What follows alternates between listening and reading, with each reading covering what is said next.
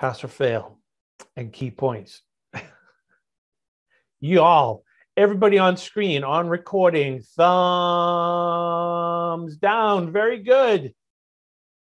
Uh, some of these pictures come from students too.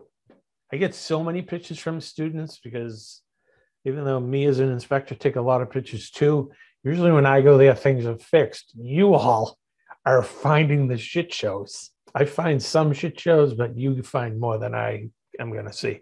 Yeah, it's just a disaster. Not much to say about other than you can't use Schedule 40 PVC anymore anyway. Somebody really thought they could do this because it had a fan. Yeah, it's ridiculous.